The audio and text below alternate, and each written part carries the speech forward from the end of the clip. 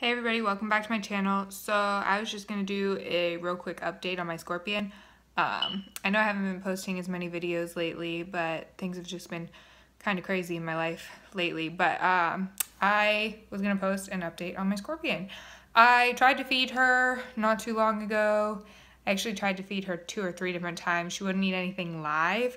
Um, I just kind of pulled the legs off a cricket. It was, I mean, obviously still alive, but just kind of left it in there overnight. Um, couldn't catch any video footage of her actually eating, but she did eat it. Cricket was gone in the morning. Um, so I was just gonna give you that update and show you a little clip of her because I got to handle her for the first time. So we'll see that. All right, so here she is. I'm gonna try and coax her out on my hand and see if I can handle her for you guys. Well, I tried to get her out, and as you can see, she kind of went for a swim. Got some dirt stuck to her tail.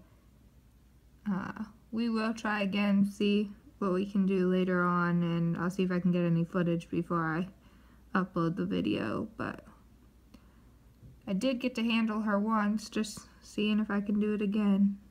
Don't want to overstress her though, so we'll see. As you can see, she's kind of got a a sassy little attitude to her right now. Not feeling it. Alright everybody, I got her out. She climbed all the way up my arm, but I got her out. Let me see if I can get her back on my hand. Alright, got her back on my arm, or on my hand, off my arm.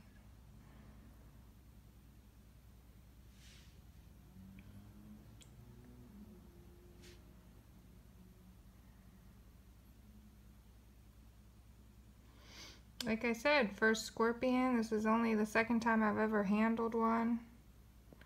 She seems pretty, pretty relaxed and calm and legit though. There she goes back into her hide.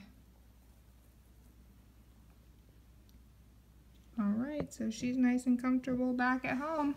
Alright everybody, thanks for watching. Um, I would like to get another video recorded and posted pretty soon. Um, I would like to do some feeding tomorrow, so I'll get that all recorded and fingers crossed it goes up in the next couple of days. So keep watching.